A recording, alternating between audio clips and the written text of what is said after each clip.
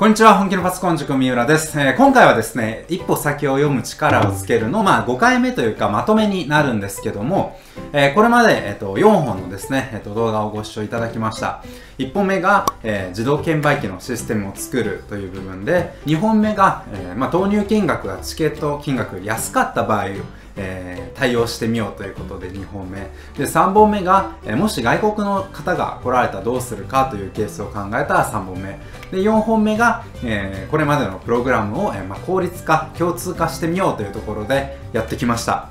で、えーと、今回がそれのまとめになるんですけどもえ正直プログラムが全部わからなかったりあの同じようにできなくてもいいと思うんですよね。あの、まあ、途中まででも結構楽し,、まあ、楽しく思える人には楽しいんじゃないかなと思うんですけども、えー、で今回のこの「一歩先を読む」という、まあ、タイトルにしている通り、えーまあ、この動画を通して、えーと、知っていただきたいというか、まあ、あの役に立つんじゃないかなと思ったポイントは2つあって、えー、1つ目はですねプログラミングの、えーまあ、学習を通して、えー、問題が起きる前に潰すという癖をつけることが重要なんじゃないかなと個人的には思っています。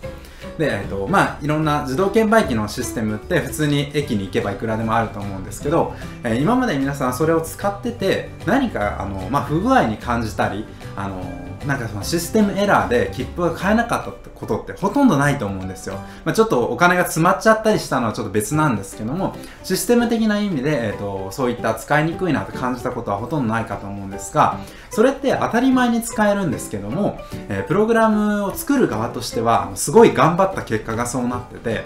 で当たり前に使える、まあえ、ストレスなく使えるシステムっていうのはすごくいいシステム、えー、になるんですよね。で、まあ、今回も作ってたら分かるようにあの、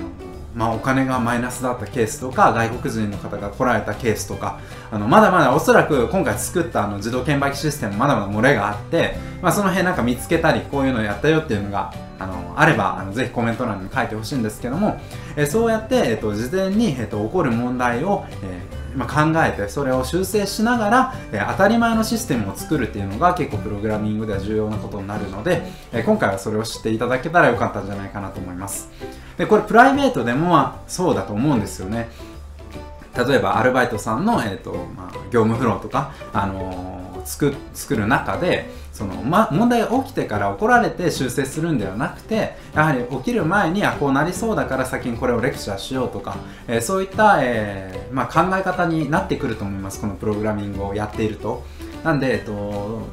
まあ、そういう意味でもちょっとトレーニングとしてもいいんじゃないかなと思います。で、えっと、2点目がですね、まあ、効率化共通化をできるんであればやろうということなんですけどもえプログラムを書いていくともうめちゃめちゃ長くなってくるんですけどもやっぱりそれを、えー、まあ、同じ部分を共通化していくことができると同じ実行結果であってもそれが半分とか3分の1のコード量で、えー、作れたりします。